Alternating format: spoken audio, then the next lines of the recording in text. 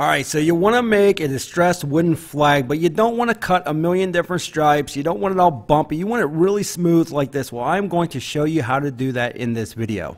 Now, you might not have some of the tools that we have in this video, but don't worry. I will go over different methods to show you how to do this. But first, you're going to need some wood. This is pine here about one and three quarters thick, 11 inches wide. You can get a 10 foot board, just cut it down to 34 inch pieces. You're only going to need two of them, and you can see how smooth that is. So the material for this actually very cheap, and you're going to be able to get that very nice finish. Don't worry about it though. Again, I will show you a couple different methods of doing this and there's really not going to be all that much cutting at all. This is probably the easiest method I have ever used to make a flag. Now you're going to have to get those two pieces of wood together. If you don't have a jointer, that's fine. You can use a planer if you have, or a hand planer, very, very cheap. Or if you make an extremely nice cut on a table saw, that might actually work as well.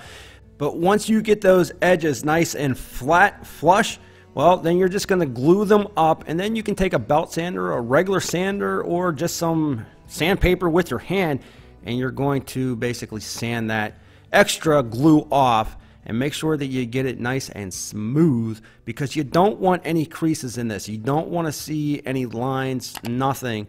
So just sand that glue down real nice like. And once you get that all smoothed out and looking pretty good like it's one solid piece of wood, well, you're ready to start making your flag. What I would do, however, before you start, you know, just take your sander, whether it's a belt sander, hand sander, whatever, and just do the entire front face of that. You want all of that wood to be pretty nice and smooth. You don't want any gouges, any marks, anything like that. Get rid of those. It doesn't have to be crazy. And I would go with maybe an 80 grit at first because you're going to end up sanding again here after, but you definitely want to get those marks out of there. All right, my friends. So I'm going to show you how to do it on a CNC, but don't worry if you don't have a CNC or if you don't have Vectric Aspire, I'll tell you other methods throughout the video on what you can do to get sort of the same results on this flag. There's a million different ways of doing things, and I'll try to walk you through them. So if you don't have a CNC, don't worry about it. But if you do have a CNC, we're going to use the Vectric Aspire. Again, you can use any software. Um, you can use your Carbide Create or whatever you're using, your, your XCarve Pro or whatever it's called, um, to do the exact same thing because there's no 3D here. Um, again, if you don't have a CNC, just skip through this and uh, we'll talk about the other methods. All right. So what we're going to do on the Vectric Aspire is we're going to create a file. This is probably the easiest thing in the world to do. So our width of our flag, because we can cut, I believe, 33 inches. I'm using the Shapeoko extra, extra large. You can cut 33 by 33, I believe. Um, but we're going to keep it at 32. The height, we're going to make the flag, uh, I think it's like 17 inches. Yeah, so the width is going to be 32 inches long, right? And then the height, 17 inches. And then the thickness of 1.75. So whatever material you're using, you would just have to do this or the size that you want, you'd have to change it here. And uh, we can make this out of pine. Doesn't really matter what you put right here, but we'll just go, um, where's my pine? Right here. And we're gonna hit okay. So you can see our dimensions. Again, the easiest thing in the world to do. So let's come over here. We're gonna left click this, bring it up here drag it down. If you're using your other softwares like the Carbide Create, basically the same exact thing. I'm going to move my face right here. Uh, we're going to hit apply. And then all we're going to do, close this, we're going to come over here, we're going to click this here, and you would go to uh, 3D model. So down here, model, left, click here, and then we'll just hit apply. And you can see that gives us our our flag outline, right? So now what we need to do, again, very simple. We're going to hit close out of this. We're going to come over here to drawing. I'm telling you, this is the easiest thing in the world. Come over here, going to left click this here, bring it up to our top, left click, drag it down. Doesn't matter how big it is. You know, on your Carbide Create and stuff, you might have to measure these out a little bit and sort of space them out correctly, but this right here on the Vectric Aspire, that's why I love this software. so easy to use. We're just going to left click, or not even left click, just let go of the left click, and then we're just going to uh, right click it and then left click it to get out of it. So watch this. So we're going to come over here, left click that again. We're going to go to modeling. we're going to go to array and it's already set up. So if you want 12 rows or 9 rows or whatever, to set it as you want. But because this is the US flag, uh, we're going to have one column, three or 13 rows, sort of like an Excel sheet, right? And we're just going to hit copy. And now check that out. So what happens is, and you're probably freaking out saying, well, you know, if I left click on these, if I group these or whatever, we'll shift on that. We don't want that. Um, if I left click this, if I bring this down, well, it's too big. But it's so simple. Check this out. So I'm going to scroll in. We're going to go to 2D view here. We're going to open that up. Let me bring that in. Now you can see these stripes are way too big. Check this out. So I'm going to left click that again. I'm just going to bring it down like so. And watch, it'll automatically resize these columns for you. It's so easy to do. And look, you got your stripes. That is why I love the Vectric Aspire, where on the Carbide Create and your Xcarve program, excuse me, you kind of have to do this um, all by yourself. So we'll just hit close. Now what we can do is um, we need the first seven stripes. So we're going to go, uh, we're going to left click. We're going to hold the shift button down. Actually, I don't want to do that. Let's go, let's bring that right back to where it was. We're going to go one, two, three, four, five, six, seven.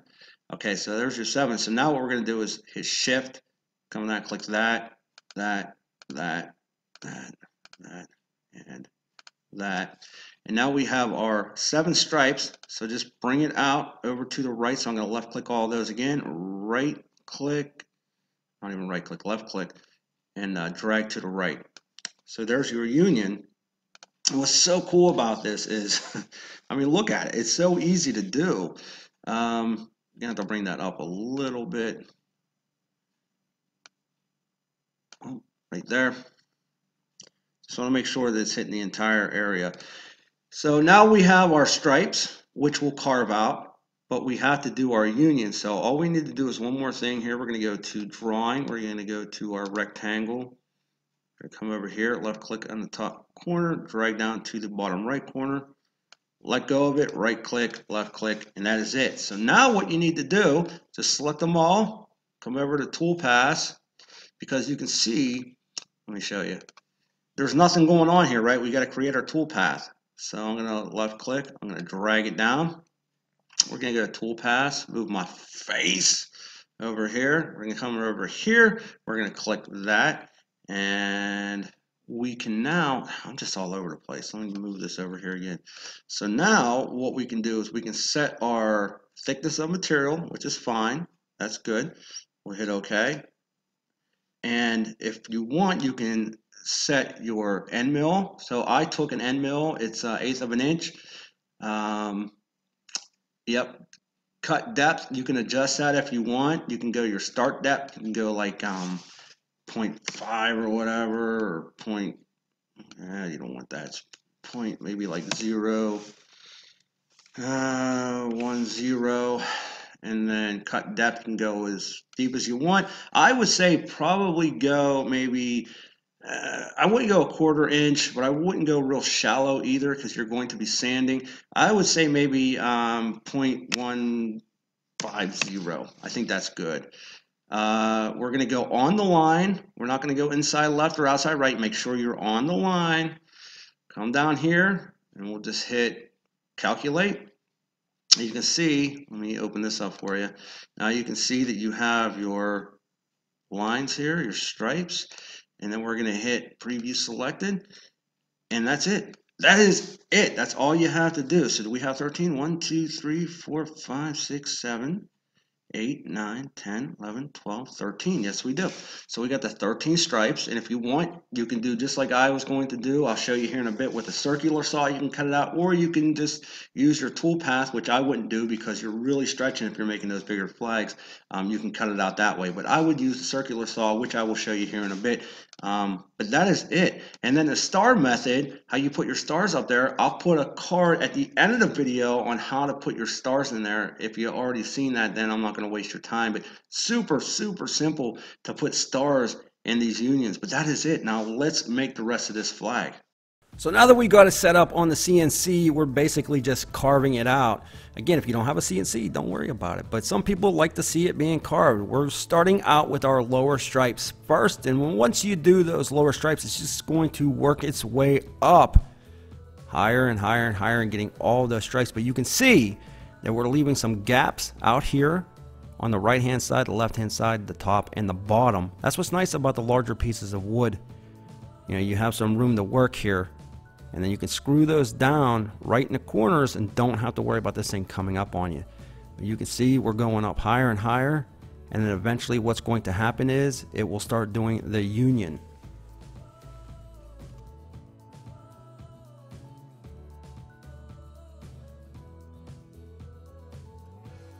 I think the total cut time for this entire flag was maybe an hour and 15 minutes. And you can see now it's starting to carve out the union. And if you wanted to, you could do more designs on here. You could do, you know, a bald eagle with this Vectric Aspire. I have another video showing you that. You know, you can make your favorite logo on this flag. Do whatever you want with these. You can make them wavy. Now you can see we're starting to finish off the rest of the stripes.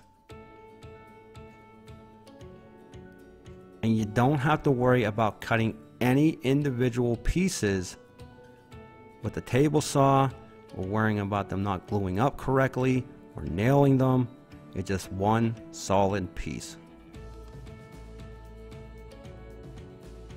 And just a helpful tip when you're looking for wood, you want to make sure that you go with something that doesn't have some crazy, horrible knots in them. You can see right here I patched up a piece. I'll show you here in a little bit how you can do that. But yeah, check it out. You got all of your stripes. You got your union.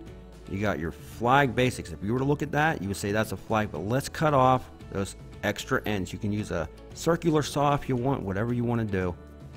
Now, if you don't have a CNC, what you could do, if you have a circular saw, you can make your stripes the exact same way that we just did on the CNC. All you'd have to do is measure them out, set up, set up a straight edge or a long ruler and just go along that as a guide and cut them about an eighth of an inch deep. That's it. That's all you would have to do. But we're going to use a planer here. If you don't have a planer, don't worry. You can use a sander.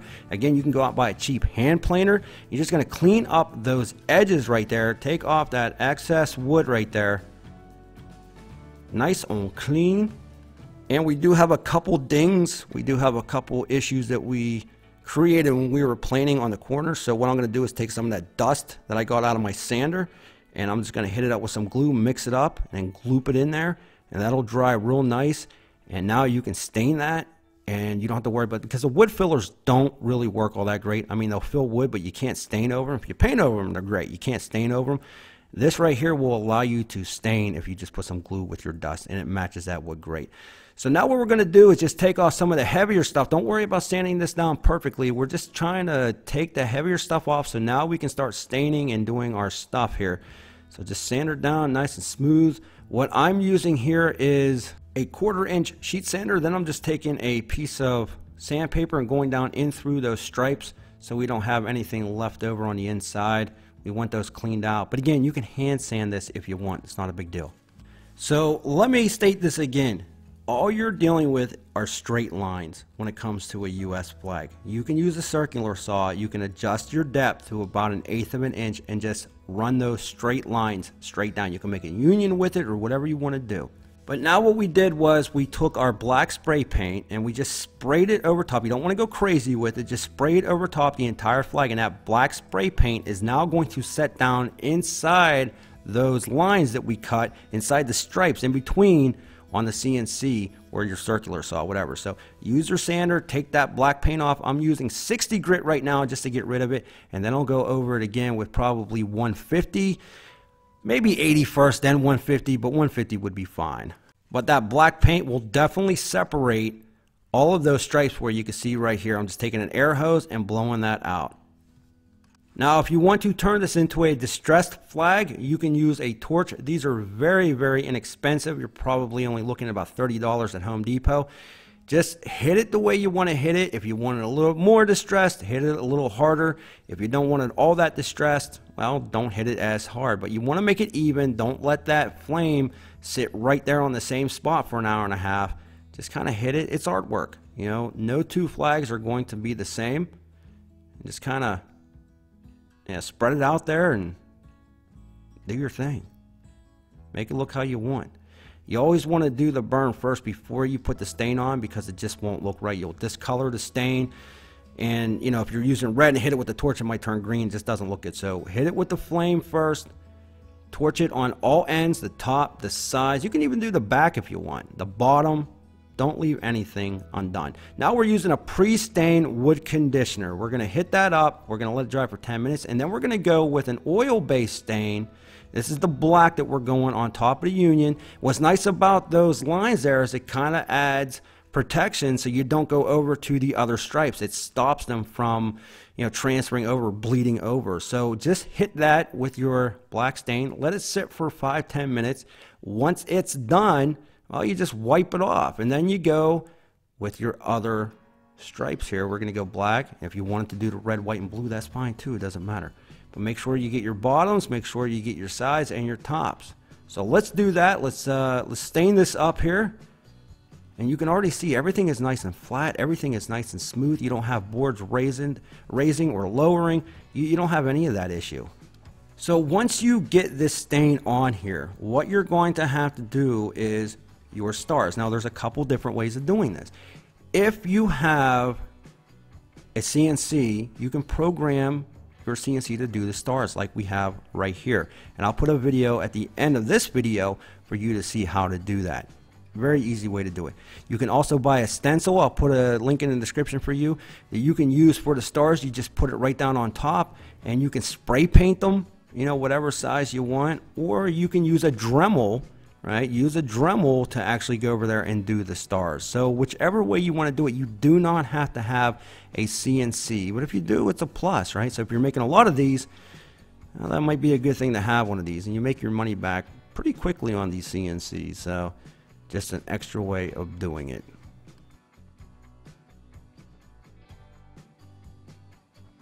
Now our stars are finished up. It took about 35, 40 minutes for those stars to be carved out. A lot better than a Dremel where it might take you a couple hours, but I'm to take a tack cloth. I'm just going to go over the entire flag to get all of the dust off of there. And then what I'm going to do is hit it with a gloss. You can do flat, you can do satin, whatever you want, but we're going with a gloss polyurethane. You can even brush this stuff on there. Just spray it on there, give it some protection, give it some shine, and man, it'll just look really, really good.